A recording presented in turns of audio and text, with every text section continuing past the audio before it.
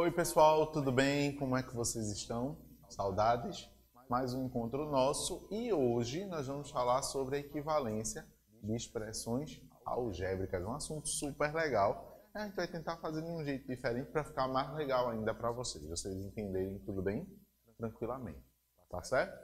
Então, lembrando, na nossa última aula a gente verificou a, a construção das propriedades da circunferência e também é, fechamos esse, essa relação aí que tinha com a bicicleta, com a roda e tudo mais, né? E hoje nós vamos verificar e validar a equivalência entre as expressões algébricas, tá certo? E para isso, a gente veio aqui para Serrambi, aproveitar um pouquinho da praia, né? E aí, jeito especialzinho, colocar aqui nosso ponto de, de, de um, é, plano de fundo para a gente desfrutar aqui desse momento. Perceberam que eu trouxe uma figura aqui um pouquinho diferente, né? Essa figura daqui é um quadrado que está subdividido em 25 quadradinhos diferentes, né? Então a gente tem aqui 25 quadrados menores e hoje a brincadeira que a gente vai fazer tem mais a ver com isso aqui, tá certo? O que é que eu vou fazer nesses 25 quadrados então? A gente quer logo relacionar a ideia que esses 25 quadrados, cada um desses quadradinhos vai ter uma unidade de área, tá certo? Cada um dos 25 quadrados tem uma unidade de área. Se a gente está falando de centímetros, né, a medida vai ser centímetros quadrados. Se a gente está falando em metros, vão ser metros quadrados. Se a gente está falando em quilômetro, quilômetros quadrados. Se a gente está falando em milímetro, vai ser milímetro quadrado. Se está falando em polegada, vai ser polegada quadrada. Tá certo? Enfim, a unidade que a gente estiver utilizando, a gente vai fazer ela ao quadrado. Tá certo? Por isso que a gente chama de unidade diária, UA. E aqui eu estou colocando essa lembrancinha aqui embaixo para poder a gente passar sobre isso aqui, certo? O que é que eu vou fazer, então? Eu tenho figuras aqui de 1A possíveis e 2UA, duas unidades de área. A figura que a gente tem uma unidade de área é só um quadradinho, tá bom? E ele está representado aqui. Só pode ser ele desse formato. E a gente vai sempre representar ele na cor vermelha.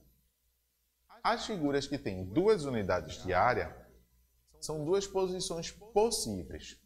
Ou ele vai ser na horizontal, os dois quadradinhos, ou eles vão ser os dois na vertical. Tá certo? Então são as duas possibilidades que a gente tem aqui para representar duas unidades de área. E a gente sempre vai colocar essas representações na cor azul. Tá bom? Uma unidade de área vai ser o vermelho, duas unidades de área vão ser azuis. Três unidades de área, professor. A gente vai colocar na cor roxa, tá certo? E essa cor roxa a gente tem alguns formatos. A gente pode pensar que são os três na vertical, os três na horizontal, tá certo? Mas também ele pode fazer como um, um cantinho ali, um L, certo? Em que fica aqui, ó, nessa posição, ou nessa, ou nessa, ou nessa daqui. Tá bom? Tranquilo até então, né? Nesse nosso momento, a gente vai utilizar até 4. Poderíamos, poderíamos utilizar até 5, que é o limite daqui de cima. Tá certo? São 5 unidades de área que a gente pode colocar ou na horizontal ou na vertical. Não daria para colocar 6 unidades de área esticados, mas a gente teria outros formatos possíveis. Mas a gente não vai explorar isso, só vai explorar até o 4. E as de 4, a gente tem várias possibilidades. A mais comum de todas, eu nem coloquei aqui porque já estava muito cheio, mas são aqui os quatro juntinhos formando um outro quadrado, tá bom? Mas pensem também que a gente pode ter os quatro compridinhos, tá certo? Todo na horizontal ou todo na vertical. A gente pode fazer um L em vários formatos aqui, ó. Aqui tem um L, aqui, aqui. Ou a gente pode ainda ter essa figura daqui, ó, formando como um T tá certo? É, e aí também essa unidade aqui tem quatro. Então todos os quatro unidades de área a gente vai representar na cor verde. Então vermelho, uma unidade de área. Azul, duas unidades de área. O roxo, três unidades de área. E o verde, quatro unidades de área. E por que a a gente está fazendo isso? A ideia é a seguinte. A gente pega, pode pegar nosso, nossa figura inicial, vou aqui para o canto, e a gente preencheu todo o espaço da gente inicial, que tinha 25 quadrados, na cor vermelha. Tá certo? Essa é a forma mais simples de preencher. Nessa forma simples de preenchimento, a gente tem 25 quadradinhos vermelhos, sendo que cada quadradinho vermelho tem uma unidade de área. Os quadradinhos que têm uma unidade de área, tá certo? que são os vermelhos, a gente vai representar com a letrinha A. Aqueles que têm duas unidades de área, a gente vai representar com a letra B. Os que têm três unidades de área, a gente vai fazer com a letra C. Tá certo? E os que têm quatro unidades de área, a gente vai aqui na letrinha D. Tá certo? Então, A, uma unidade de área. Sempre vão ser os vermelhos, a gente vai indicar. Os azuis que têm duas unidades de área, a gente vai indicar aqui, ó, com a cor azul e na letra B. Os da letra C são os roxinhos que têm três unidades de área. E na letra D, os que têm quatro. Percebam o seguinte, figura completa 25A.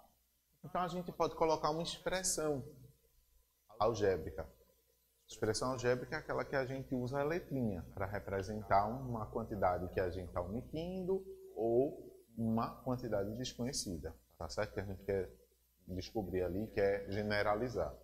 Então, a gente diz que a fórmula de preenchimento, a expressão algébrica que representa essa, o preenchimento dessa figura são 25A, tá certo?